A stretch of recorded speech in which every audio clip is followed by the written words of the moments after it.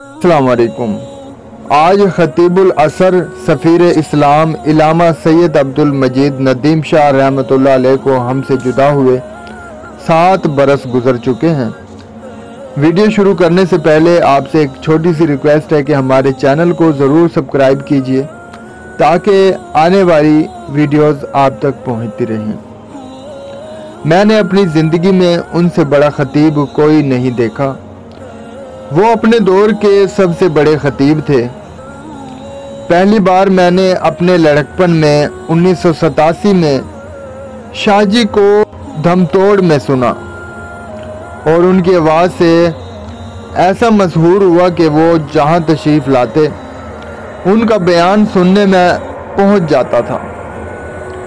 उनकी वफ़ात तक 28 बरसों में मुझे 70 बार से ज़्यादा उन्हें सुनने की सआदत नसीब हुई।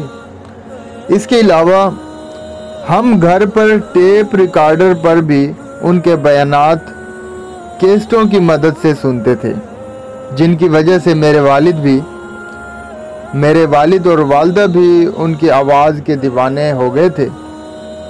मैंने शाजी का दौर जवानी भी देखा है, जब वो घंटों बेतकान बोलते थे और फिर उनका बुढ़ापा भी देखा है।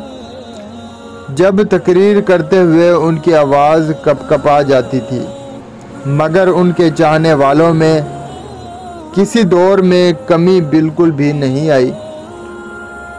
उनकी एक झलक देखने को मजमा लग जाता था। उन्होंने अपनी खिताबत को तोहद बारी ताला तहफ़ ख़त्म नबूत शान मुस्तफ़ा सल्लल्लाहु अलैहि वसल्लम, अज़मत सहाबा व अहल बैत रज़ी अल्लाह और अकायद की दुरुस्ती के लिए इस्तेमाल किया। बिलाशुबा उनके बयान से लाखों लोगों की सलाह हुई। वो अजीम मुबलग इस्लाम थे। तीन दिसंबर 2015 को उनकी वफ़ात की खबर सुनकर मैंने उनकी नमाज़ जनाजा में शिरकत का इरादा भी किया।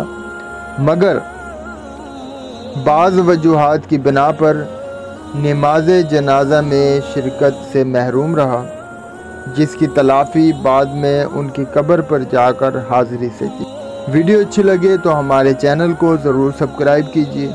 तब तक के लिए अल्लाह हाफिज़।